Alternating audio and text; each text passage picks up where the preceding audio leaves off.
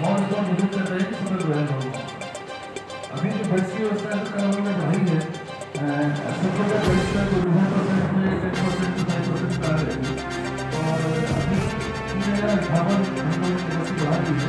और तीन दिन में तीन हज़ार अठावन कैपेसिटी हो। जाएगी प्राइवेट में तो दो हज़ार चार तीन सौ जारी अस्पतालों में और एन में भी छः सौ पैंतीस तीन अस्पतालों में तीन सौ पैंसठ की कैपेसिटी सुपर स्पेशलिटी है, वहाँ में दो पाँच दिन काम बचा है।